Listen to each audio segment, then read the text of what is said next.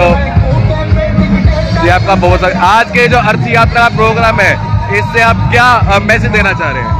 सरकार को और इस पॉलिसी को फूक रहे हैं दाह संस्कार कर रहे हैं इनके ऑफ़िस के सामने क्योंकि ये पॉलिसी नौजवानों को गैंगस्टर और शूटर बना सकती है फौजी नहीं बना सकती।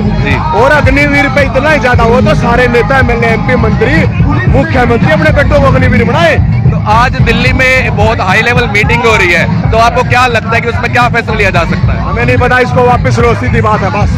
इसको वापस लो नौजवानों के लिए अग्निपत्नी ये अग्नि कुंड बन चुका है। और अगर ये वापस नहीं लेते तो हमारी आगे रणनीति क्या आंदोलन आंदोलन आंदोलन पूरे देश में आंदोलन। तो आपने अभी भी सुना कि नवीन जैन ने क्या कहा कि अगर ये नीति जो है वापस नहीं होती तो पूरे देश में आंदोलन किया जाएगा।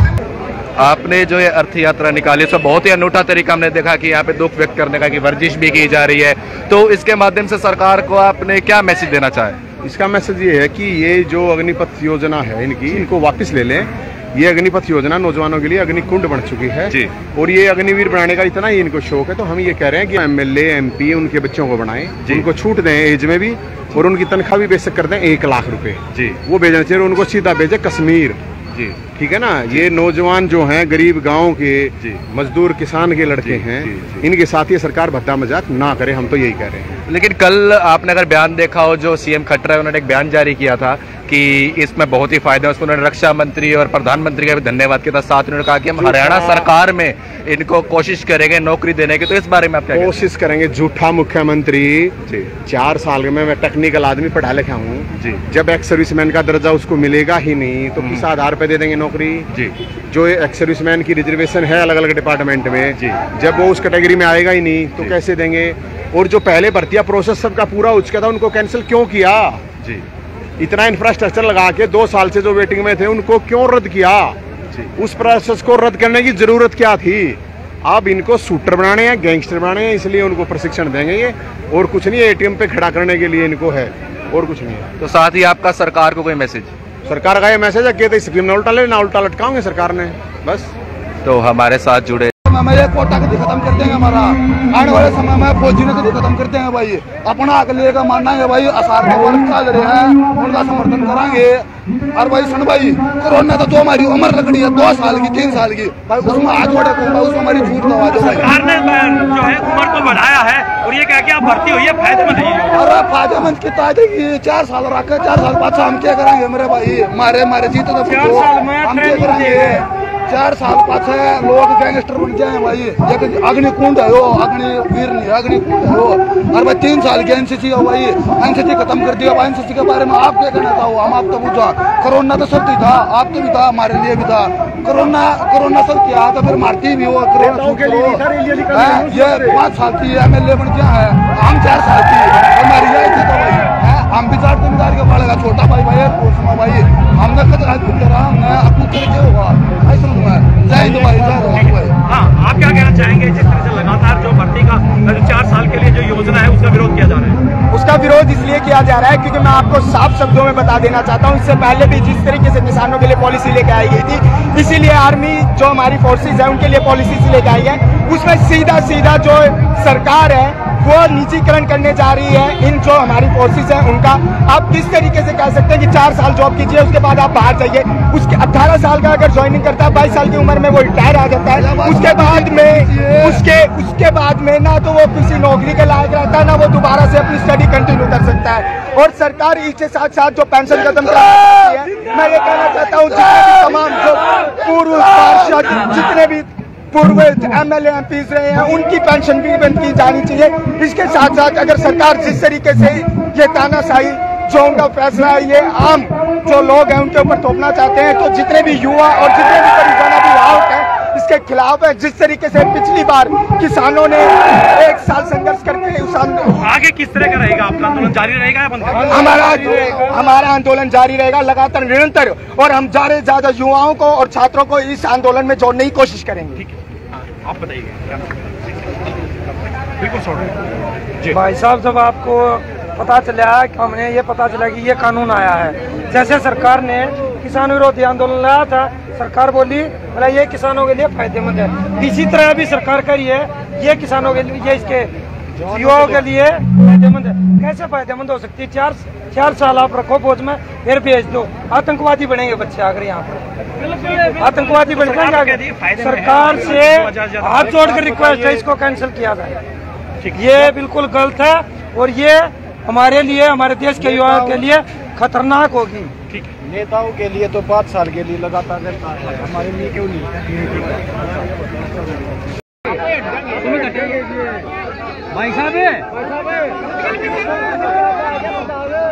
और अब इस अर्थी में आग लगा दी गई है। आप देख रहे हैं सीधे तस्वीरें डिजिटल भूमि के माध्यम से और जो नवीन से हिंद वो पूरा क्रियाक्रम जिस तरीके से किया जाता है दाह संस्कार के टाइम उस तरीके से मटके से जो है दाह संस्कार करते आपको नज़र आ रहे हैं। आप देख रहे हैं किस प्रकार जो है विरोध प्रदर्शन बहुत ही अनूठे तरीके से रोहतक में किया गया है और एक ही मांग है कि अग्नि का जो स्कीम है उसको वापिस जा रही है, फोड़ दिया गया।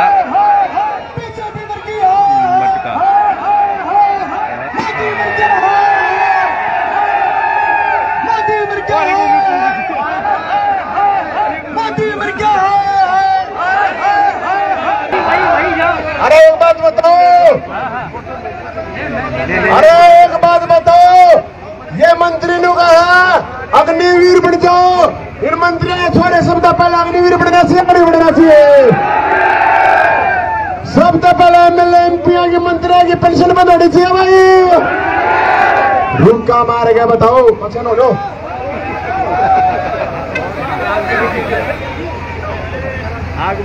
भाई, आज या इनकी सरकार की अर्थी फुकड़ लाग रही है।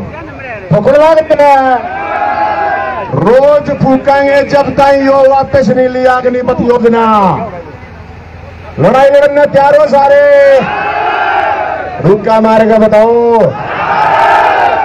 या सरकार सुन ले मुख्यमंत्री। और सुन ले प्रधानमंत्री। ये गामा के गरीबा के बालक से जो फौज लगा है। किसी का तुमने सुना किसी नेता का शहीद होया हो छोरा? सुना किसी पति का छोरा होया हो? तो भाई इन को ना छाड़ दे। और देश के नौजवानों को हमने कहा हाँ, नासा में दम दे दो इनके कति पाछे नहीं हटना। दे दोगे? यार होना। भाई शांतिपूर्ण तरीका अपना देश है अपने लोग हैं। विरोध रहेगा लगातार जारी। जब तक ये पॉलिसी वापस नहीं लेने भाई एक बात बताओ चार साल, सोचो। एमएलए बनागा पाँच साल पेंशन में। और ये ठेके पे चार साल रख रहा है, ये ठेके पे। ये तो मेरा क्या हो जाएँगे?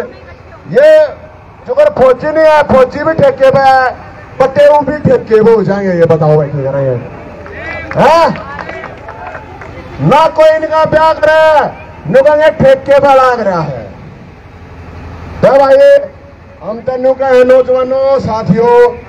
अगर भाई पहला इन देश में एमएलए एमपी इनके छोरा ने छूट दे दो से पाँच साल।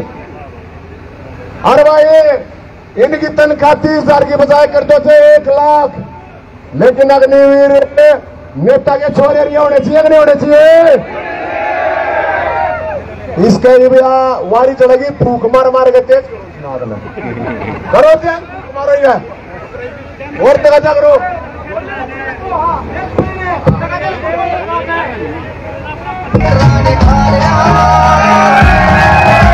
आप देख रहे हैं, सीधी तस्वीरें डिजिटल घूमने के माध्यम से किस प्रकार से जो है, ये जलती हुई चीता के पास डांस किया जा रहा है और सरकार मर गई और बाकी सबकी भी यहाँ पे जो है, नारे लगाए गए हैं अभी।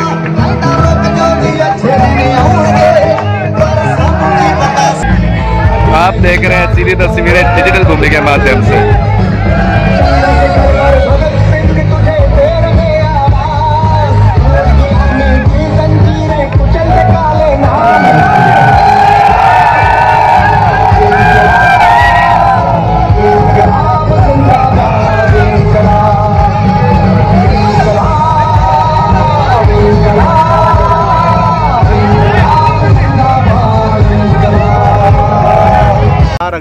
योजना है, इसको वापस ले ले, वरना देश का युवा आग का गोला बन के इस सरकार को भस्म कर देगा। और अग्निवीर इतनी ही अच्छी योजना है तो फिर ये नेता, M P, M L A बड़े बड़े अफसर, उद्योगपति अपने बच्चों को अग्निवीर के तहत भेजें फौज में। और हम ये मांग करते हैं, इनके दस साल की इनकी छूट दे दी जाए तो भी प्रॉब्लम प्रॉब्लम नहीं है। और तीस हज़ार की जगह नेताओं के बच्चों को एक लाख रुपए तनख्वाह दी जाए तो भी प्रॉब्लम नहीं है। लेकिन ये जो गाँव के लड़के हैं, गरीब किसान, मजदूर के बेटे हैं इनके साथ मज़ाक ना करें। चार साल की ये ठेकेदारी प्रथा फौज के लिए बंद करें, हम तो ये कह रहे हैं। और पेंशन अगर बंद करनी है तो पहले नेताओं की पेंशन बंद होनी चाहिए, फिर उसके बाद फौजियों की होनी चाहिए। और ये लड़के चार साल फ्री में सेवा करने के लिए तैयार हैं, लेकिन ये जिस तरह से मज़ाक किया जा रहा है कि चार साल मतलब राजनेता की तो 80 साल तक की उम्र, दो दो, तीन तीन पेंशन ले ले, और फौजियों को पेंशन भी नहीं। और फिर जो ये कह रहे हैं कि दस लाख रुपए मिलेंगे, ये मिलेंगे। फौज का मतलब पैसा नहीं है, सिर्फ़ रोज़गार नहीं है। वहाँ एक जुनून है। और सबसे बड़ा मामला, आप समझिए, सोचिए, जो भर्तियों का प्रोसेस पूरा हो चुका था लास्ट लिस्ट लगनी थी, उसको रद्द करने का क्या मतलब है? उसका कौन सा लॉजिक है? जो हज़ारों लाखों बच्चे अपने रिज़ल्ट का वेट कर रहे थे, उनको रद्द करने का क्या मतलब है? दो साल से कोरोना था तो कोरोना का सबको अगर रिलैक्सेशन मिला है तो अगर इन बच्चों को एज रिलैक्सेशन मिल जाता तो क्या प्रॉब्लम थी? और मैं आपको जानकारी दे दूँ, ये जो अभी रिलैक्सेशन दिया है इन्होंने दो साल का, ये ऑलरेडी तेईस साल थी, इन्होंने तो घटाई है अग्निपथ योजना के तहत तो हम ये मांग करते हैं कि भाई अगर जिसको ये अब कह रहा है, एक मंत्री ने कहा कि हम देश के युवाओं को हीरा बनाना चाहते हैं। अरे तू हीरा अपने छोरी ने बना ले। इनने तो जवान रहने दे, सिपाही रहने दे, कोने बनाना हीरा? देखा कभी कोई किसी नेता का बेटा शहीद होता? अच्छा नेताजी सरकार ने ये कहा है कि योजना बहुत अच्छी है, युवाओं के लाभप्रद है, लेकिन भ्रम फैलाया जा रहा है। अरे, भरम फैलाया बावड़े हैं ये सारा देश बावड़ा है। अच्छी बात करो, भरम फैलाया जाए है। ये तो किसान आंदोलन में भी है कि भरम फैलाया जाए, क्यों उल्टा लिया फिर जूते भी खाए, और प्याज भी खाए खाए कि नहीं? सौ जूते, सौ प्याज खाए। कोई भ्रम फैलाया नहीं जा रहा। चार साल में एक्स सर्विसमैन का कोटा नहीं मिलेगा। और जब एक्स सर्विसमैन का कोटा नहीं मिलेगा तो उसको कहीं पे नौकरी के लिए कोई मतलब नहीं है। एक्स सर्विसमैन की जो रिजर्वेशन है वो खत्म हो जाती है। ये बेकूफ बेकूफ बना रही है सरकार टेक्निकल शब्दों से खेल रही है बड़ो अच्छा सेना की तरफ़ से भी बयान आया है कि जल्दी नोटिफिकेशन जारी होगा और इसकी भर्ती की प्रक्रिया शुरू हो जाएगी। तो सरकार सरकार सेना को सेना के अफसरों से प्रेस कॉन्फ्रेंस करवा के राजनीति कर रही है सेना के ऊपर। पूरी तरह से गलत है मैं आप लोगों को बताऊँ इस योजना में नाश ही नाश है। इस योजना के द्वारा देश में कोई फौजी तो बनेगा नहीं लेकिन गैंगस्टर और शूटर बनने की पूरी संभावना। है शुक्रिया हाँ हाँ बुद्धिजीवी द्वारा ये कहा गया है कि जो सेना में भर्ती होते हैं वो युवा हिंसात्मक तरीका नहीं अपनाते हैं सरकारी संपत्तियों को नुकसान नहीं पहुंचाते हैं। तो उस पर आपका क्या विचार है? देखिए पहली बात तो कोई भी अब आप ये बात और तक में देख रहे हो कोई संपत्ति का नुकसान पहुँचाया किसी ने? किसी ने कुछ करा क्या? ये जो लोग कर रहे हैं सेना जो उग्र अपने छात्र हैं उनको कह सकते हो उग्र नौजवान। ये जो कह रहे हैं उपद्रवी हैं, ये ये शब्द ही गलत हैं। कोई नौकरी लगने के लिए, फौज में जाने के लिए खड़े हैं यार। अब कुछ चार पॉलिटिशियन लोग भेजना करवाओ गदर। ये सरकार के लोग ही ये गदर करवा रहे हैं। फौज में भर्ती होने वाले लड़के अपना शांतिपूर्ण तरीके से प्रदर्शन कर रहे हैं लेकिन मैं ये बता रहा हूँ, ये अग्निवीर अपने बेटों को बनाए। पहले ये एमपी एमएलए मंत्री, उद्योगपति, ये अपने बेटों को कराएँ। हीरा बनने की ज़रूरत नहीं है नौजवानों को। जवानी से ठीक है ठीक है। समय समय पे हमने जितने भी हमारे कोचिंग सेंटर हैं, जहाँ से बच्चे ये ट्रेनिंग ले रहे हैं, भर्ती होने की, या जो अन्य जो शिक्षण संस्थान हैं, उनसे सभी से संपर्क किया हुआ है। और लगातार हमारे जो टीम है, उनके संपर्क में है। और हमने सभी को एजुकेट किया है कि भाई वो कानून की प्रीति में रह के अपना धरना प्रदर्शन करें, जो भी उनका रोष है, वो व्यक्त करें। लेकिन कानून व्यवस्था को हर हालत में बनाए रखें। उनको एजुकेट करने का काफ़ी व्यापक इसका असर हुआ है। तो हमें उम्मीद है कि हमारे जो ज़िले में ऐसी कानून व्यवस्था बनी रहेगी और शांति बनी रहेगी। तो हिंसात्मक घटनाएँ कोई नहीं हुई अभी तक सर? नहीं हमारे यहाँ कोई ऐसी सूचना नहीं है। अभी तक सारा पीसफुल है अच्छा लॉ एंड ऑर्डर मेंटेन करने के लिए कोई विशेष टीम का गठन किया गया है?